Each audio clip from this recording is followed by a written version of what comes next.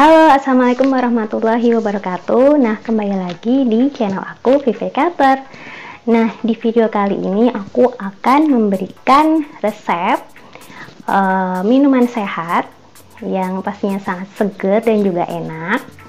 Yaitu aku akan memberikan resep smoothies atau jus yang tentunya banyak manfaatnya bagi kesehatan tubuh Salah satunya yaitu dapat melancarkan sistem metabolisme dan sistem saluran pencernaan kita sehingga dia itu bisa digunakan untuk mendetoksifikasi usus sehingga eh, kotoran-kotoran uh, yang di dalam tubuh itu bisa terbuang seperti itu teman-teman Nah, selain dia bisa digunakan untuk mendetoksifikasi usus, dia juga bisa digunakan untuk pengganti sarapan pagi. Bagi kalian yang punya program diet, kalian nggak usah khawatir karena smoothies yang aku buat ini sangat rendah kalori.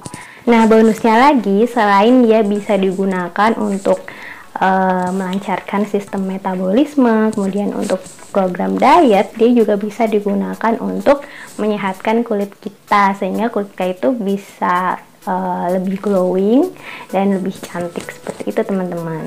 Nah, karena uh, di dalam uh, buah-buahan segar ini dia mengandung kaya antioksidan seperti itu sehingga dia juga bisa memperlambat penuaan dini.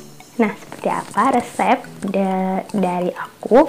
Nah, silahkan simak ya. Check this out. Nah, untuk membuat smoothies ini aku butuh buah apel. Nah, buah apel ini dikenal mengandung quercetin sebanyak 13,2 mg per 100 gram buah.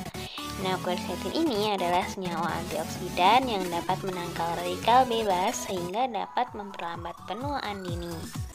Nah, bagian dari buah apel yang memiliki antioksidan adalah dagingnya, buah utuh beserta kulitnya, kulit buahnya, dan biji apel. Nah, selain itu, apel ini juga mengandung serat pektin yang berperan sebagai prebiotik yang merupakan sumber makanan untuk bakteri baik di dalam usus. Nah, ini apelnya aku potong kecil-kecil beserta kulitnya ya teman-teman karena kulitnya juga mengandung kayak antioksidan nah kemudian aku masukin aja ke dalam blender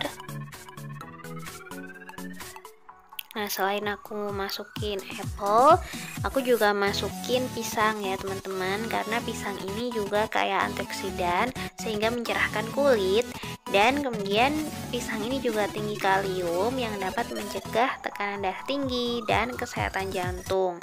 Serta pisang ini juga mempunyai serat tinggi yang dapat melancarkan sistem saluran cerna. Nah, kemudian aku tambahkan yogurt plain.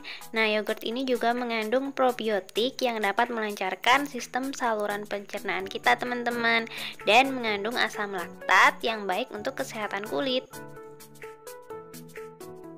Nah, supaya lebih segar lagi, kalian boleh tambahkan es batu secukupnya ya, teman-teman.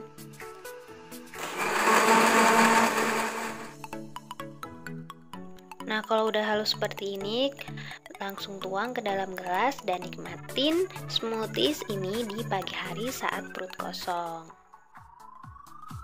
Nah, smoothie selanjutnya aku punya wortel.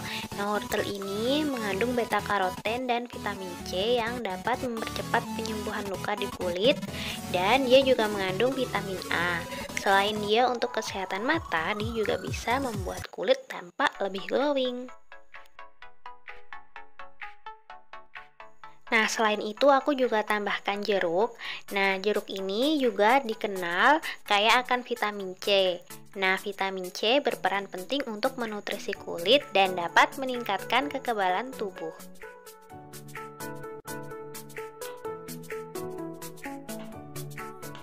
Nah, setelah aku bersihin wortelnya, nah di sini aku potong-potong kecil-kecil aja wortelnya supaya mudah di blender. Nah, kemudian ada jeruk. Nah, ini aku pakai jeruknya setengah aja ya, teman-teman.